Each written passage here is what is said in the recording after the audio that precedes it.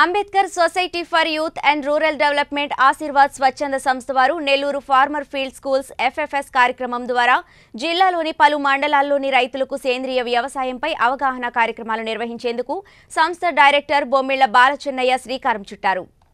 అందులో భాగంగా శనివారం వింజమూరు మండలం ఊటకూరులోని రైతులతో కలిసి ఈ సదస్సును నిర్వహించడం జరిగిందని సంస్థ కమ్యూనిటీ ఆర్గనైజర్ సాదం శ్రీనివాసరావు తెలిపారు. సేంద్రియ వ్యవసాయం అనగా ఎటువంటి రసాయన ఎరువులు పురుగుల మందులు వాడకుండా కేవలం ప్రకృతి సిద్ధమైన ఎరువులు పదార్థాలు వాడి పంటలు పండించడమని సేంద్రియ వ్యవసాయంలో రెండు పద్ధతులు ఉంటాయని తెలిపారు. ఈ కార్యక్రమంలో అవుట్సోర్స్ పర్సన్ రొడ్డా రాంబాబు స్థానిక రైతులు రొడ్డా కొండయ్య వెంకటరత్నం వెంగయ్య వెంకటరత్నం వెంకటేష్ రామకృష్ణ ఓబులేసు నాగా యేసు వెంగమ్మ మొదలగు వారు పాల్గొన్నారు.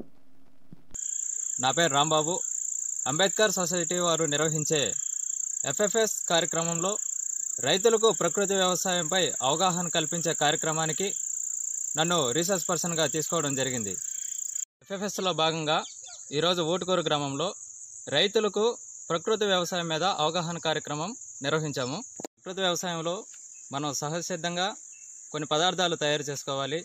అందులో భాగంగా ఎరువులు ఘనజీవామృతం ద్రవజీవామృతం బీజామృతం తర్వాత కషాయాల్లో నీమాస్త్రం అగ్నాస్త్రం దశపర్ణ కషాయం సొంటిపాలి కషాయం ఇటువంటి మొదలుగా ప్రకృతి సిద్ధమైన కషాయాలు మనం తయారు చేసుకోవాల్సిన అవసరం ఉంది. ఈరోజు ద్రవజీవామృతం ఎలా తయారు చేయాలో రైతులకు వివరించడం జరిగింది. అందులో భాగంగా కావలసిన పదార్థాలు బెల్లం శనగపిండి ఆవు పేడ ఆవు మూత్రం ఈ పదార్థాలు రైతుల చేత తెప్పించి ఏ విధంగా తయారు చేయాలో వారి చేత చేయించి ఆ మిశ్రమాన్ని రైతుల చేత చేయించడం జరిగింది. రైతులో రైతులు ఈ మిశ్రమాన్ని స్వతహాగా వారే తయారు చేసుకునే స్థితికి తీసుకురావడం జరిగింది. ద్రవజీవామృతం అనేక విధాలుగా వాడుకోవచ్చు. ద్రవజీవామృతం ఉపయోగాల్లో మనకి భూసారం పెంచడానికి భూమి సారవంతంగా ఉండడానికి ద్రవజీవామృతం తయారు చేస్తాము. ఈ ద్రవజీవామృతం వల్ల మనకి భూమిలోని వానపాముల ఉత్పత్తిని పెంచడానికి చాలా దోహదపడుతుంది.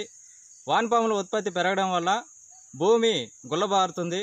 భూమి గుల్లబారడం వల్ల మనకి మొక్క వేరు వ్యవస్థ అనేది చాలా దృఢంగా గట్టిగా ఉంటుంది.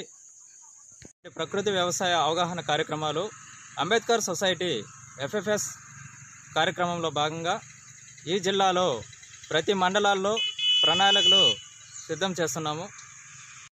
ప్రకృతి వ్యవసాయం వైపే మొగ్గు చూపాలి లేని పక్షంలో భూమి సారవంతం కోల్పోయి భవిష్యత్తు తరాలకు పనికి రాకుండా పోతుంది. అలాగే మనిషి మనుగడ చాలా ప్రశ్నార్థకంగా మారుతుంది. ఈ ప్రకృతి వ్యవసాయంలో రైతులకు అవగాహన కార్యక్రమం నిర్వహించేందుకు అంబేద్కర్ సొసైటీ వారు నన్ను రీసెర్చ్ పర్సన్గా ఎన్నుకున్నందుకు వారికి ప్రత్యేక ధన్యవాదాలు.